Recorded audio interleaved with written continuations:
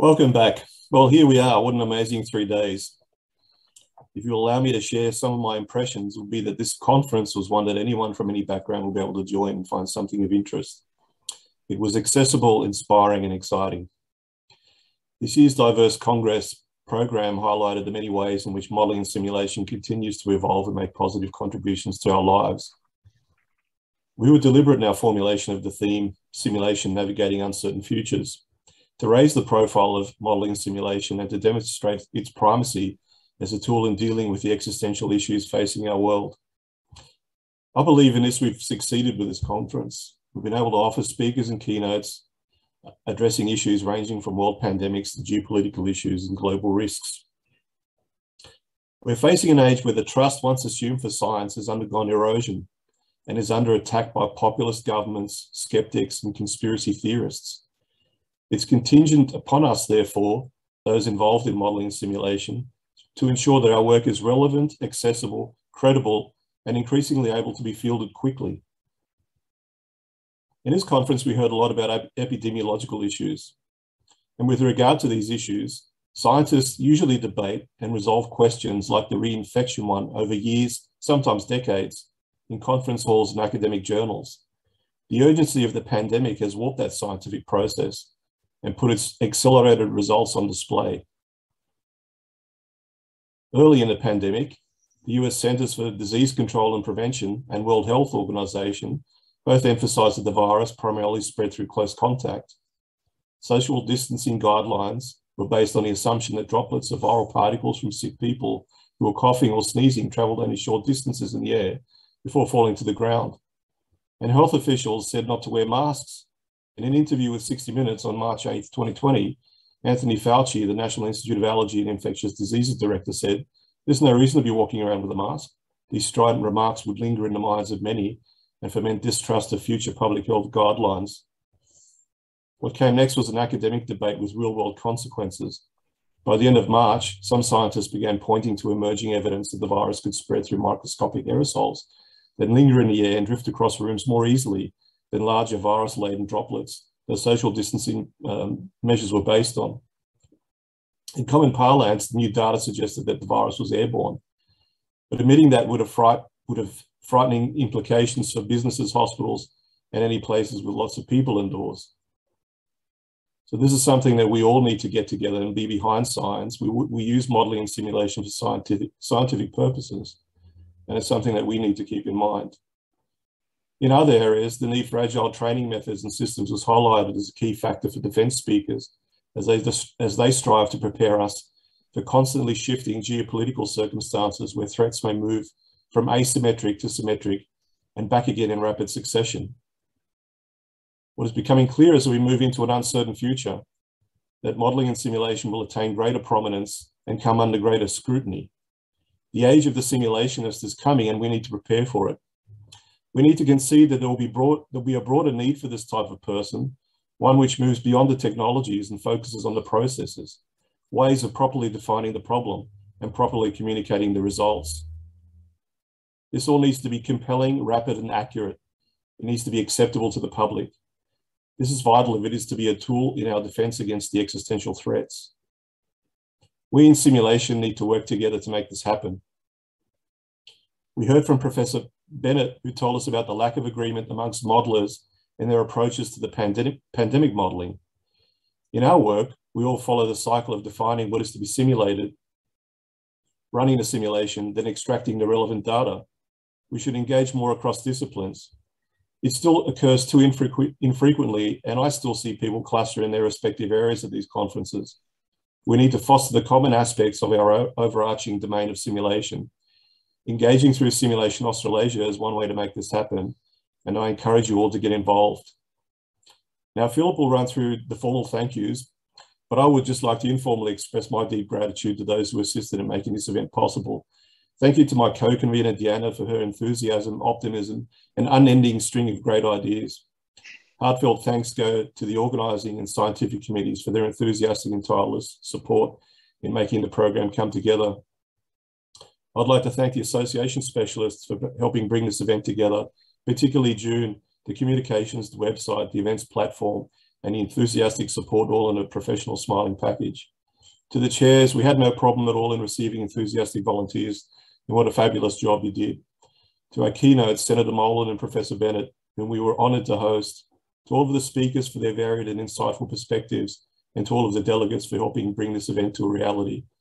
To the whole collective group for your congeniality, it impressed me that the discussion and questions were so friendly and supportive. Thanks, I would now like to hand over to the co-convener, Deanna. Thanks, Fred. And uh, I guess I'll continue on with the, my appreciation of thanks.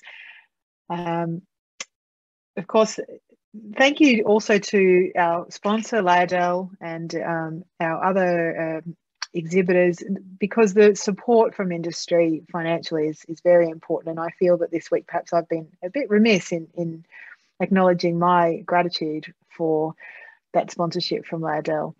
Um, I know that health is such a big, important part of this community, and I want to thank um, certainly our colleagues on the organising committee who brought that energy from the health focus, um, as well as the games community to add to what was the original SimTecT conference. And I think in the five years that I've been away, um, I have seen this event transform from um, perhaps three separate communities to one big transdisciplinary intersectional community where people are recognizing the value in collaboration and just the, the strength and the diversity that we have as a community. That would be my biggest takeaway from this event.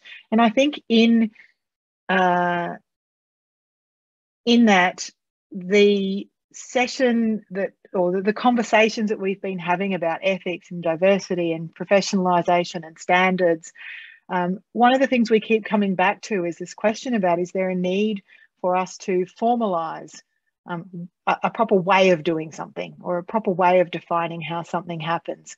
And i'd like to leave a question sitting at the end of this and i go back to um, kelly menzel's comment in the uh, diversity panel on day one where she gave some examples of having given her students access to her office and her lab and and really I think challenged or questioned the need to have highly structured and regulated approaches to do things. Now I know that's anathema to some people in environments where that's really really important.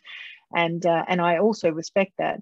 And the question I raise is to say how do we think about or how might we as a community think about the need for these things and when it's needed and when in actual fact maybe it becomes a barrier to growing our community and growing the adoption of simulation i don't have an answer it's a provocation i think for the next 12 months as we start to unpack some of the discussion i'd like to thank uh, all of the people who've been so actively involved in the conversations, in the meetups, in the chats, asking questions. I think that for me has been the most inspiring part of this conference. The speakers are always great.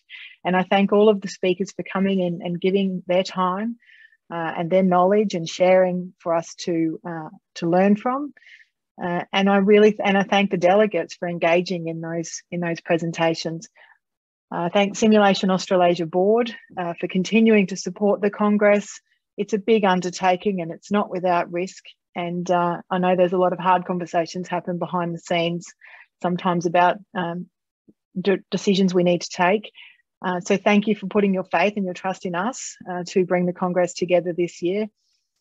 Uh, I'd like to thank uh, Taz as the association specialist, and in particular June. I echo uh, Fred's comments about June's support in, in an ever smiling package, which I think is wonderful. June, thank you very much. And of course, my co convenor, Fred, uh, partner in crime.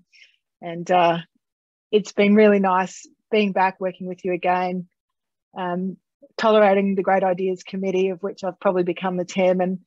Um, and uh, and I've, I've had a wonderful time this week, and, and I think it's been a great success. And I say thank you to everybody.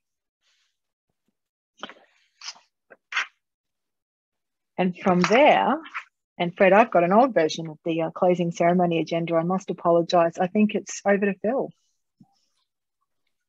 It is indeed. Thanks, Deanna. Uh, so, as Fred and Deanna have said, we've come to the end of three wonderful days presentations, panels, workshops, masterclasses, all highlighting the theme that was carefully chosen um, navigating uncertain futures. It's always good when the simulation community gets together and shares our experience and skills. The coverage, the ASC's covered such a wide range, simulations at all levels of interaction, from the needs of the individual through the needs of the entire world. There's been important sessions, as Deanna mentioned, on diversity and inclusion and ethics, what it means to call simulation a profession. Despite, or in some cases because of COVID-19, the simulation community is moving ahead rapidly to build that better world uh, that we have in our vision. The breadth of simulation in use today flies well under the radar uh, for most people, and yet the skills, techniques, and simulations we use are critical to a prosperous future internationally. Without opportunities to share our knowledge and broader recognition of simulation as a profession, it's unlikely we'll be able to influence the world of the future to avoid the mistakes of the past.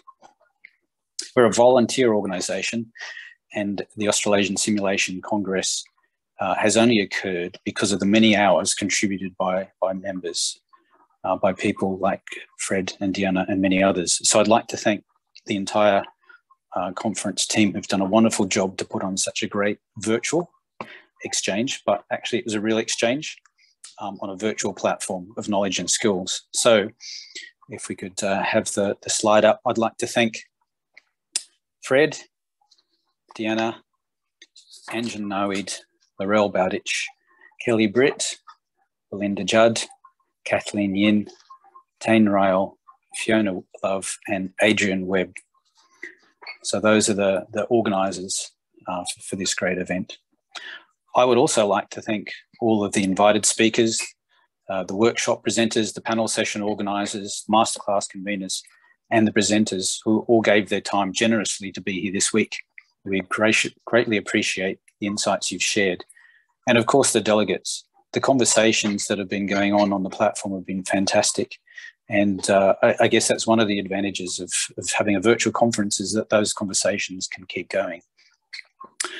Um, thanks also to Lyndall Baker, who's our uh, admin assistant, working even further in the background, um, coordinating things behind the scenes, um, and to, to Naljun and Christina and the team from the association specialists. Uh, it's been the first time that we've worked with that group, and, and uh, I don't think it will be the last. They're our professional conference organisers. And I'd also like to thank our sponsors. Uh, this Congress wouldn't happen without support um, from people like uh, our platinum sponsor, uh, an exclusive award dinner sponsor, Laerdal Australia New Zealand, and our conference supporter, Real Response. So as I mentioned, we're finishing the synchronous part of the conference, the live part, um, but the opportunity for, for learning from our, our peers, from our presenters and speakers will continue. So one of the benefits of, of the online uh, nature of this event is the ability to view all of the, the sessions uh, that would have been missed in a traditional conference in parallel, where you can only go to one.